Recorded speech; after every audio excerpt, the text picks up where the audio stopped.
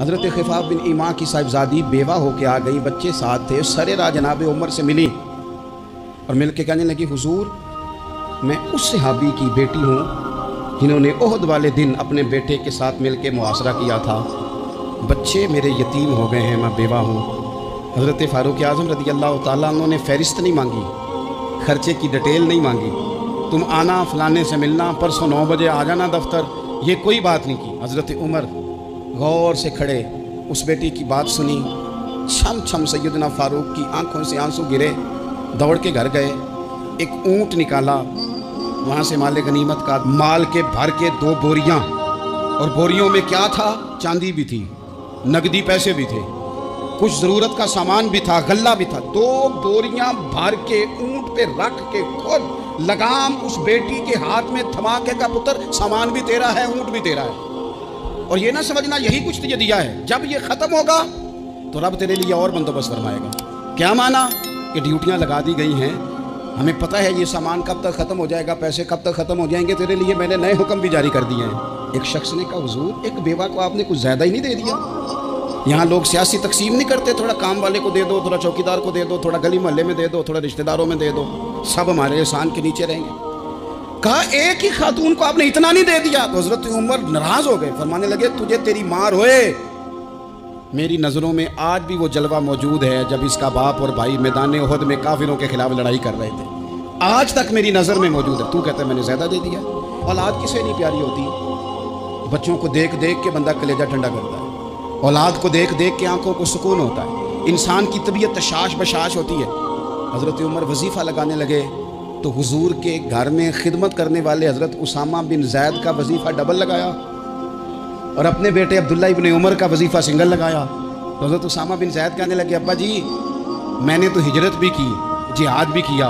उसामा तो उन दिनों बच्चे थे। तो हज़रत सैदना उमर फ़ारूक जवाब में कहने लगे, पुत्र, उसामा के वालिद जैद ने भी हुजूर के घर में नौकरी की। उसामा भी नौकरी कर रहा है। हज़रत उमर की शान क्या है, ज़माना जानता है। पर फिर भी हज़रत उमर फरमाने लगे, तूने अपने बाप के साथ हिजरत की। फरमाया, उनकी खिदमत ज़्यादा है हजूर के घर में, लिहाजा उनका वजीफ़ा भी ज़्यादा लगाया जाएगा।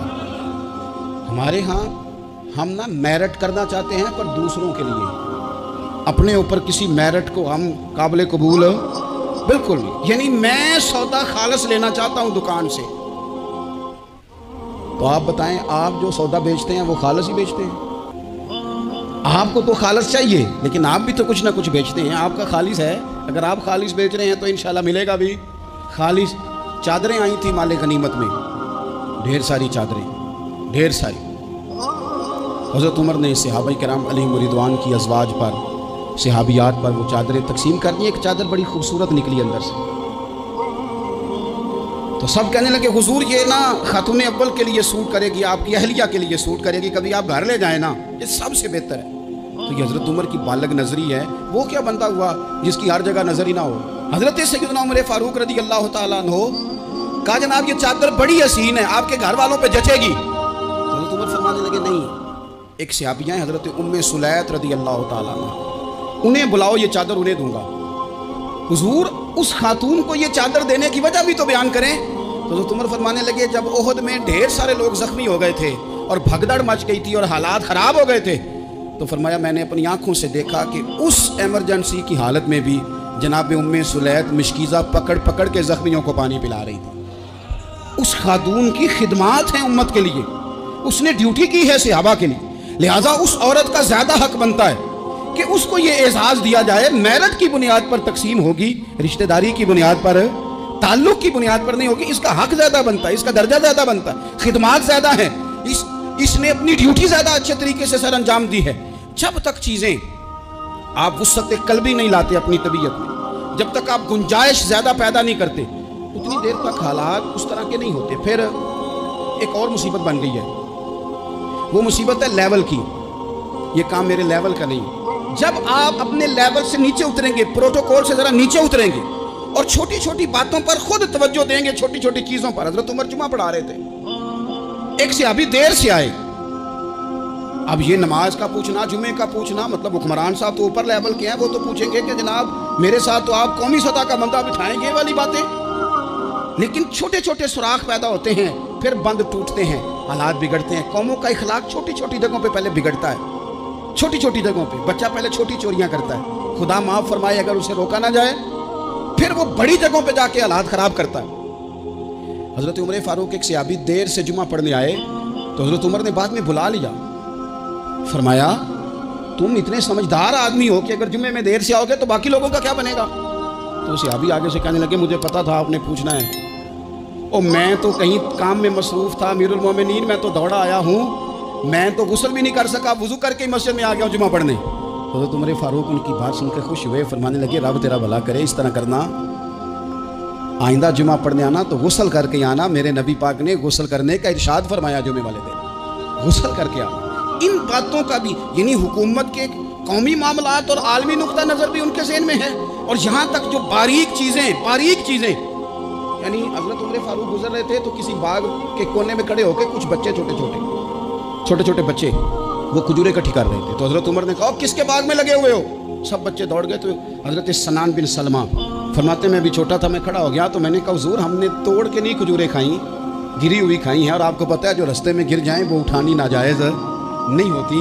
तो हजूर ये गिरी हुई खजूरें खाई हैं तो कहते हैं, हज़रत उमर फारूक बच्चे की बात सुन के कहने लगे, रब तेरा भला करे, तूने सही बात की तरफ़ मेरी तवज्जो करा दी है। अल्लाह तेरा भला करे। और फिर हज़रत उमर रदी अल्लाह तु उस छोटे से बच्चे के पास खड़े हो गए। कौन? किसके पास हो? नहीं नहीं नहीं ख्वाब तो नहीं देख रहे मैं और आप। हुक्मरान वक्त, बाईस लाख मुरबा मील का हुक्मरान बच्चे के पास खड़े हो गए। छोटे बच्चे के पास। दुकान पे गरीब आदमी चढ़ आए ना दुकानदार साहब इल्ला, माशाल्लाह, उनका मिजाज खराब हो जाता है। और तीसरी चीज़ कहना वो वाली दिखाओ तो कहते, लैनिया तो लै। तो जा, और अगर तगड़ा बंदा आ जाए। तो कहते हैं, जनाब, आप इस तरह करें, निशानदेही कर दे, मैं इंशाल्लाह ख़रीद के ला के पेश कर दूँगा। मिजाज बदल जाता है, गरीबों के पास, छोटों के पास, आम आदमी के पास आप जाएँ। हमारे हुक्मरानों का गरीब आदमी से गैप बहुत ज़्यादा है। पीरों का गरीब आदमी से गैप बहुत ज़्यादा है। बड़े उलमा का आम आदमी से गैप ज़्यादा है। ताजरों का आम आदमी से गैप ज़्यादा है। शीशे के बड़े बड़े मोहल्लात में, सोसाइटियों में बसने वालों का गरीबों से गैप ज़्यादा है। इसलिए अमीर गरीब की तफरीक बढ़ गई है, हालात और तरह के हो गए। बाज गुराबा अमीरों से नफरत करने लग गए। हमारी शादी, ब्याह तकरीबा अफ्तारियाँ, उनमें हम अपने लेवल के लोग बुलाते हैं, जिनसे हमें कारोबारी ज़रूरियात व्यवस्था होती हैं।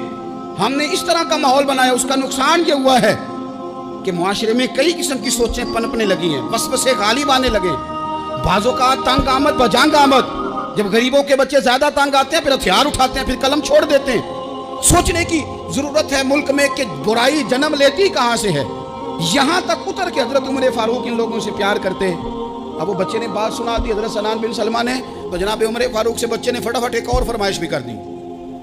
कहने लगा, हजूर, मैंने खजूरें ज़्यादा जमा कर ली हैं। वो मेरे दोस्त सारे भाग गए हैं आपको देख के। अब मैं जब जाऊँगा ना तो खजूरें मेरे हिस्से की हैं। हूँ मैं गरीब बच्चा। माड़े घर से ताल्लुक है, वो मेरी खजूरें छीन लेंगे। हज़रत उमर के साथ सिपाही भी थे, सारा कुछ भी था।